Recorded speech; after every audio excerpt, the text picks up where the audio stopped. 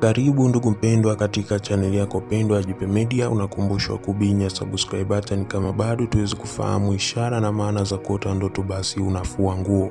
Kiuhalisia, njozi kama hii basi huwa haijitokezi mara kwa mara, ni kwa uchache zaidi, lakini pia inapojitokeza basi huweza kuashiria kwamba kuna jambo fulani litakwenda kutokea, kama ni kesho yake ama ni katika mfumo wa maisha kiujumla kwa sababu yapo matukio ambayo basi yanaweza yakatokea na kubadilisha mfumo mzima wa maisha kwa kupitia tu utabiri wa siku moja. Lakini pia njozi ama ndoto pekee ndizo huweza kutoa tafsiri na maana ambazo zinaashiria jambo katika mfumo wa maisha ambayo tunaishi kila siku, lakini haitakiwi kuwa na hofu pale ambapo unakuwa umeota ndoto ambayo inaashiria jambo baya, kwa sababu ndoto hizi una uwezo wa kukataa ama kuikubali, na hii ni kwa kutumia kiunganishi kimoja cha maombi.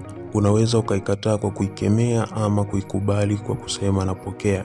Tuweze kufahamu ishara na maana basi ambazo zinapatikana katika njozi ambayo unajikuta katika mazingira ya kufua nguo au kufanya usafi basi wa mavazi.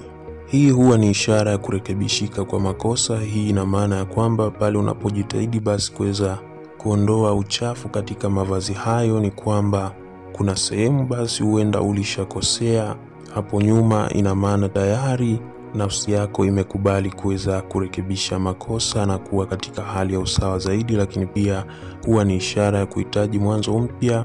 Ni dhahiri kabisa pale ambapo umekubali kuweza kujirekebisha makosa unakuwa uko tayari kuanza mwanzo ambao unakuwa uko salama na wenye umakini zaidi. Hivyo ni wakati sahihi wa wewe kuweza kufanya kitu ambacho kitaashiria basi unataka kutimiza lengo fulani kwa wakati sahihi, lakini pia huwa ni ishara ya kufata misingi na weledi ambao unazidi kukupa nguvu ya kuweza kufanya kitu ambacho unakifanya na kukifanikisha kwa wakati ambao unakuwa ni wakati sahihi, tena kwa ubunifu mzuri. Hivyo unaweza ukawa ni mtu ambaye unafanya kazi ama unatimiza majukumu fulani. Hii inaashiria kwamba basi unatumia vizuri kipawa ulicho nacho, lakini pia huwa ni ishara ya kusamehewa. Hivyo kama kuna watu ambao ulikuwa umekwazana nao ama haujapatana nao vyema, basi huwa ni ishara ya kusamehewa. Nafsi zao zinakuwa huru kabisa, wanakuwa hawana tena mpango ama tunasema hawana kinyongo na wewe. Lakini pia huashiria kwamba una utambuzi wa kitu ambacho unakifanya. Hivyo kitu ambacho unakifanya katika mazingira ya uhalisia ni kitu ambacho unakifahamu vyema na unatilia jitihada kuhakikisha basi kinaweza kutimia lakini pia huwa ni ishara ya kupenda kuimarisha mwonekano wako. Hivyo unajitahidi sana kutengeneza mazingira ambayo yatakuwa mazuri ya wewe kuweza kuwa na mwonekano wenye mvuto ambao unakuwa ni angavu.